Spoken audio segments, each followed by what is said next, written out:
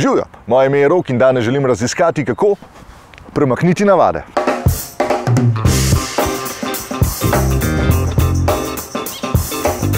Verjamem v to, da lahko z malo volje dosežemo velike premike. Ker če se lahko spreminja podnebje, se lahko tudi mi. Podnebne spremembe so namreč posledica naših dejanj, tudi mojih. Dobra novica pa je, da sem tudi sam del rešitve in da imam pri tem pomoč. Projekt Life IP Care for Climate namreč raziskuje številna področja, ki mi bodo v naslednjih minutah pomagala, da mi bodo podnebne spremembe malo bolj jasne. Povprečna temperatura zraka pri nas se je v zadnjih 50 letih dvignila za skoraj 2 stopinji Celzija. Segrevanje je posledica emisij toplogrednih plinov zaradi rabe fosilnih goriv v vsakdanjem življenju. Zato moramo v EU zmanjšati emisije do leta 2030, dolgoročno pa poskrbeti za razogličenje. In različna področja projekta Life IP Care for Climate nam bodo v pomoč, da bomo dosegli podnebne premike. In to skupaj. Vi pa lahko vse na svete najdete na samo eni spletni strani. In prvi na svet je, da je za premik najprej potrebno spremeniti naše premikanje. Ker so emisije cestnega prometa če dalje bolj neprijeten sopotnik, s katerim samo izgubljamo čas, je sedaj pravi trenutek, da presedlamo na mobilnost, ki bo trajnostna in tudi dejansko mobilna. Naj se naš svet vrti okoli dobrega počutja in ne okoli avtomobilov.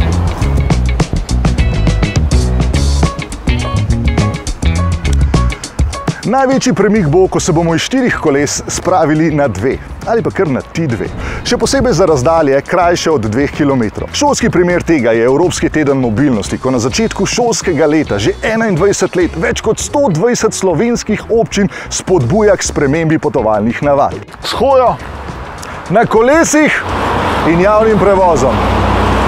V nekaterih mestih so uvedli odprte ulice, kjer za nekaj časa namesto avtomobilov zavlada druženje vseh generacij in otroški smeh. Več o tem, katere oblike trajnostne mobilnosti so nam na voljo čez celo leto, pa nam bo povedal gospod Tadej Žalcer. Vse leto so nam načeloma na voljo vse oblike trajnostne mobilnosti. Najlepše pa je seveda, če gremo lahko peš ali s kolesom. Za daljše razdalje vzamemo vlak ali avtobus, do postaje in z postaje gremo spet peš ali s kolesom. Hvala, mi pa gremo naprej. Čas je, da ugriznemo v novo temo. Naj vam za predjed postrežem s podatkom, da je med odpadno hrano kar 40 odstotkov še užitne hrane. To pomeni, da gre 40 odstotkov vsega truda v nič. Zato je skrajni čas, da hrani in njenim predelovalcem vrnemo spoštovanje. Našim gospodinstvom pa s premišljenim nakupom privoščimo vsakodnevni prihranek s pomočjo načrtovanja jedilnika. Da bi bolje spoznali naše navade, se več let izvaja akcija Stran pa ne bomo metal, v kateri se preko kuhinjskih dnevnikov odpadne hrane in sortiranja bioloških odpadkov, brez skrbi, slednjih vam ne bomo kazali, prepoznava ključne ukrepe, ki jih lahko upelje vsakdo od nas. Kaj torej lahko storimo naslednjič, ko odpremo hladilnik? Predvsem najprej preverimo zaloge v hladilniku in v shrambi, načrtujemo jedilnik za cel teden naprej in nakupujemo z nakupovalnim seznamom. Če nimamo občutka za količine, sestavine pred pripravo stehtamo. V primeru pa, da nam hrana vseeno ostane, jo shranimo za naslednji dan ali pa jo zamrznemo. No, mimo te hiše je hodil že preširen. In ko opevamo energetsko učinkovitost stavb, ne gledamo samo na danes, temveč upoštevamo celoten življenjski cikl stavbe. Preprosto povedano, koliko energije gre za sprotno uporabo stavbe in koliko za proizvodnjo gradbenega materijala, gradnjo, vzdrževanje ter razgradnjo. Da bi izvedel več o trajnostni gradnji in prenovi, sem šel na obisk družini Trajnik. Poleg piškotkov so mi postregli z nasveti o učinkovitem ogrevanju, hlajenju, prezračevanju in osvetlitvi ter o uporabi gradbenih virov z nizkim ogličnim odtisom. Pravijo, da jim skoraj nič energijska prenova prinaša bolj kakovostno bivanje in produktivnost, hkrati pa nižje stroške za energijo in višjo vrednost nepremičnine. Zakaj je trajnostna gradnja temelj prijetnega vsakdana, pa mi bo povedal magister Miha Tomšič. Le redko lahko z enim zamahom naredimo toliko dobrega zase, za druge in za podnebje kot s trajnostno gradnjo in prenovo stavb. Znižamo rabo in stroške energije in vode, zmanjšamo količino odpadkov, omejimo škodljive vplive na okolje, ohranjamo naravne vire, prispevamo k celotnemu znižanju ogličnega otisa in se ob tem še dobro počutimo. Pozdravi pameti za zdrav planet. Hvala. Če želimo iti naprej, si moramo zagotoviti pravo energijo. Podnebna kriza je v veliki meri povezana z vprašanjem, kako proizvesti dovolj električne energije brez uporabe fosilnih goriv. Skrajni čas je, da se premaknemo. Na svetu trenutno dve tretjini elektrike pride iz termoelektrarn na fosilna goriva. Cilj Slovenije pa je, da bi se do leta 2030 približali tretjini proizvedene elektrike iz sonca, vetra in vode. Čeprav obnovljivi viri vsebujejo potencialno ogromno energije, ki jo je težko nadzirati in shranjevati, je smiselno ustrajati.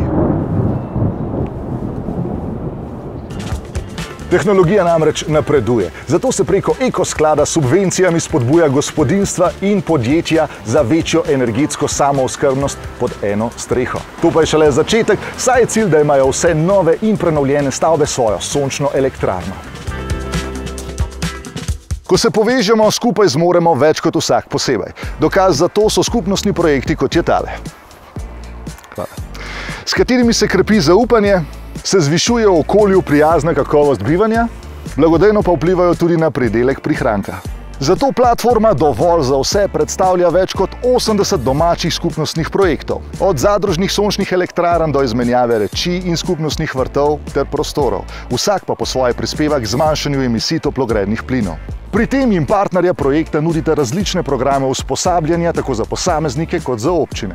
Zdi se, kot da so skupnostni projekti vzcveteli po vsej Sloveniji. Na kakšen način prispevajo v boju proti podnebnim spremembam? Včasih se kot posamezniki znajdemo v situaciji, ko bi radi ravnali podnebju prijazno, pa tega preprosto ne moremo storiti.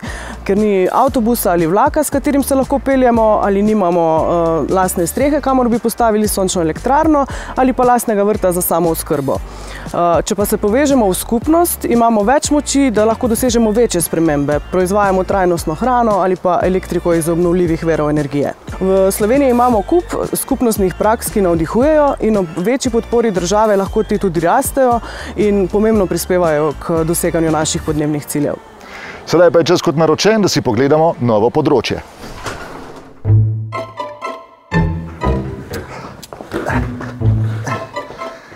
Veste, kaj je zeleno javno naročanje? Naj vam namignem. Zelo verjetno ste že bili deležni njegovih prednosti. V vrtcih, v šolah, v zdravstvenih domovih, skratka v vseh javnih stavbah. Ker pa sem tudi sam pri razumevanju nekoliko zelen, mi bo več o temi povedala Tatjana Orhini Valjavec. Zeleno javno naročanje pomeni, da javni naročniki dajemo prednost pri izbiri izdelkom, izvajalcem in storitvam, ki so boljši za okolje in s tem tudi za nas. In prihranek se lahko zelo natančno izmeri. V treh letih smo tako prihranili na tone oglikovega dioksida za celo hidroelektrarno elektrike in na milijone litrov vode. Skupaj pa več kot 60 milijonov evrov. Lahko bi rekli, da so koristi zelenega javnega naročanja kakor zrak povsod okoli nas, kakor naša naslednja tema.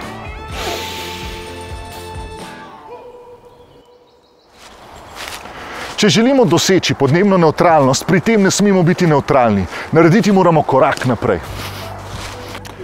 Za doseg cilja so namreč ključne trajnostna raba slovenskih zemljišč, učinkovita raba obnovljivih naravnih virov ter ohranjanje biotske raznovrstnosti.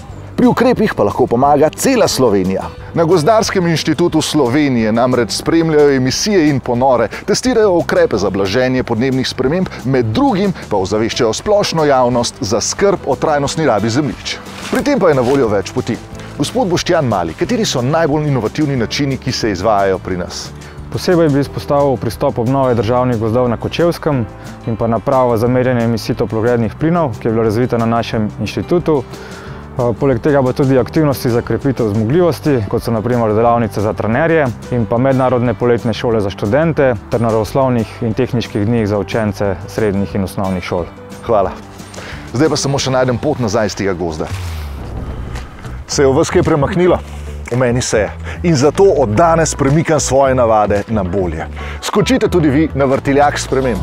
In če še ne veste, zakaj bi začeli, ne pozabite. Imamo samo en planet!